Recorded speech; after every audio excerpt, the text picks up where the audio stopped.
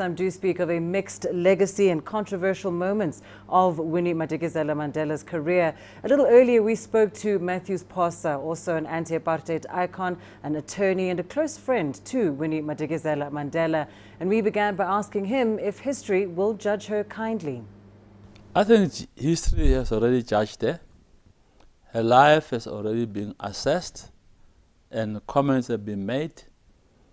And uh, she stands out as that symbol of anti-apartheid, which rallied the world, and the world rallied around her to uh, push the struggle for and against for struggle against apartheid. She symbolized that resistance. She was a fighter. She believed in um, a non-racial democratic South Africa. She believed in promoting the rights of women, children, and the disabled of all kinds. She was a complete human being. She had a strength and a weaknesses, and we admit that. And uh, the strength far superseded the weaknesses which she had. That is why at all difficult times of her lives in the struggle, she emerged with a lot of strength and dignity. Why dignity? Because she faced brutal oppression like all of us.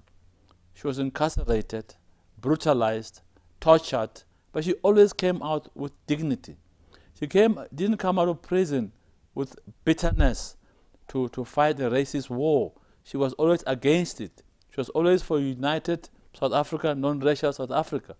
She dominated her situation by not being bitter and settling scores.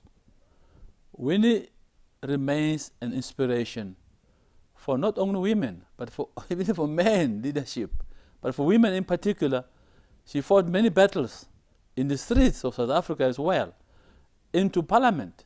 She was one of the champions of proper representation of women in parliament and has got a song which uh, she used to love and sing, They're saying that uh, the women have arrived, meaning they have arrived at the center of power. They have arrived at in a democratic environment where they participate and respected by men as equal citizens and equal fellow human beings. That's Mathews Phosa there touching on some of the attributes that made Winnie Mandela such an icon of the South African struggle.